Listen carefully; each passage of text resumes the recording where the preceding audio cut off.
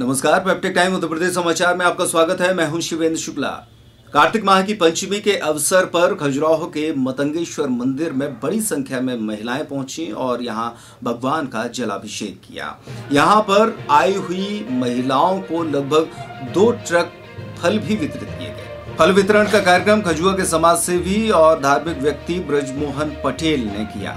ब्रजमोहन ने महिलाओं और छोटे बच्चों को अपने हाथों से फल वितरण कर पुण्य कमाया।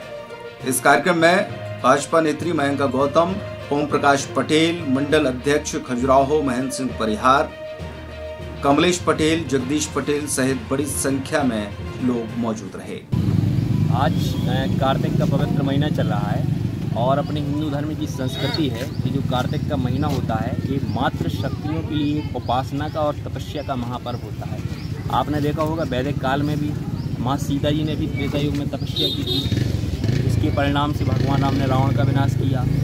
आपने देखा होगा द्वापर युग में भी द्रौपदी ने और राधा जी ने, रुक्मणी जी ने तपस्या की, जिसकी वजह से कंस और कौरवों का नाश हुआ।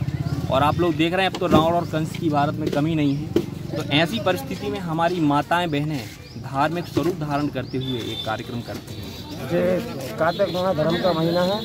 तो व्रत पालन के लिए फलदान करने का संकल्प लिया हमने। पूरे माह फलदान करना। है